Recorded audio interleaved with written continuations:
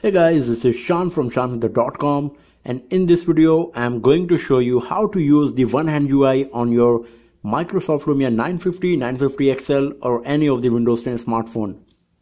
So as you can see that this is Microsoft Lumia 950 XL smartphone and it's really very huge. It's having 5.7 inches screen and it's pretty big. So for few people it can be a bit difficult to use the uh, device easily. So to get rid of that situation you're having the one hand UI but how to activate it? It's it's written in uh, it's hidden in the setting actually. It's nowhere mentioned that how to use it.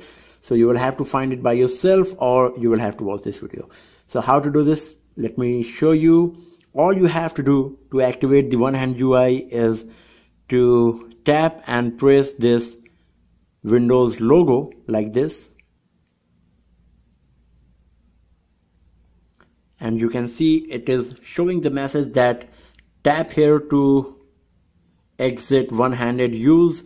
Press and hold the start button to activate. So this is how you can use the one-handed UI and to remove it all you need to do just tap on it. So let's activate it and use it for a while.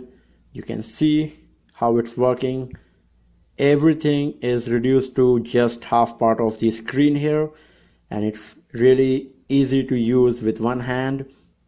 But the only problem is it just uh, uh, one screen. Like unlike few of the android smartphones you can't use the upper part of this. This is not a split screen it is just one hand ui and to get out of this one hand ui all you have to do just tap on the this blank part of the screen and it will be in the normal mode.